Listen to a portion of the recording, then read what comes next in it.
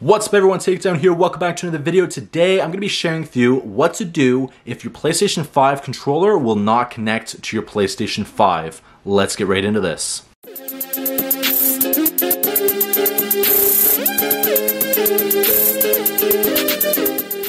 So this easy fix is just like I did before in the past for the PlayStation 4 controller not connecting to the PlayStation 4. It is basically the same exact steps and it is super easy and most of these most of the time these steps do work for most people. So I recommend checking these out first before you go and purchase a new PS5 controller because that will cost you money.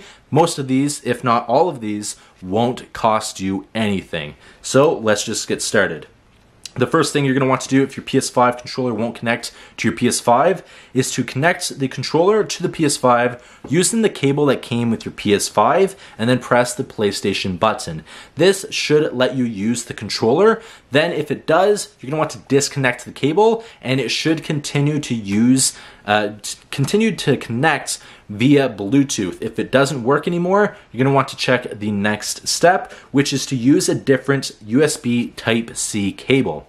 Now, sometimes the cables are really cheap, they can become damaged, but if you use a different one, you're going to want to use one that's not only good for charging, but also transferring data. That's the one you need to be able to use for the PlayStation 5 controller. I'm not sure why, I thought a charging only one would work, but it's recommended that you use one that can also transfer data as well. So if you try a new cable and that works with the new cable, and whenever you disconnect it, it stays connected to your system via Bluetooth, your problem is solved. If it still doesn't work, move on to the next step.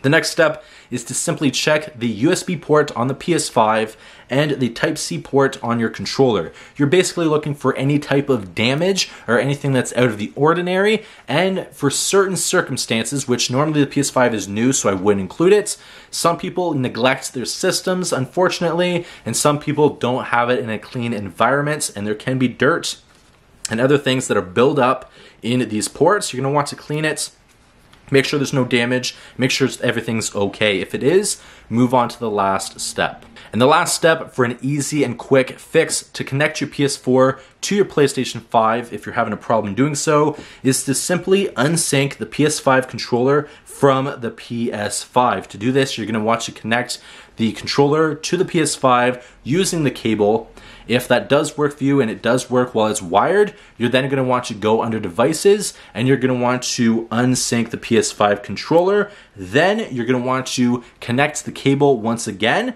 and you're going to try it again as if it's a new PS5 controller. You're going to connect the cable to it, you're going to press the PS button and hopefully that does work and it does connect via Bluetooth. Then when you unhook the cable, it should stay connected once again. If it doesn't, there could be something internally with the PlayStation 5 controller. It could be one of the uh, little cables, either the Wi-Fi or the Bluetooth cable that is for whatever reason disconnected and you either have to open up the controller or possibly purchase a new controller. If you don't know and you're unsafe uh, or if you're unsure how to open up the controller and you don't want to do it if you're not tech savvy, I recommend taking it somewhere that can open it up. See if there's an issue before going and spending so much money on a brand new controller. But these, for the most part, will work for most people, the easy fixes I talked about in this video.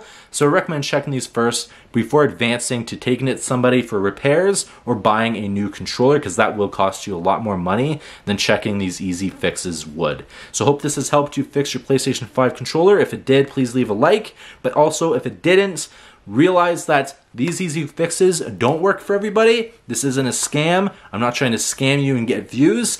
These fixes work for a lot of people. The comments will show that. But again, it does not work for everybody. If you have an, a bigger problem than what I can fix with an easy fix, it obviously won't work for you. But I hope you guys liked this video. But I hope you guys enjoyed this video and I hope it helped fix your PS5 controller. And I'll see you guys in the next one. Please take care. Peace.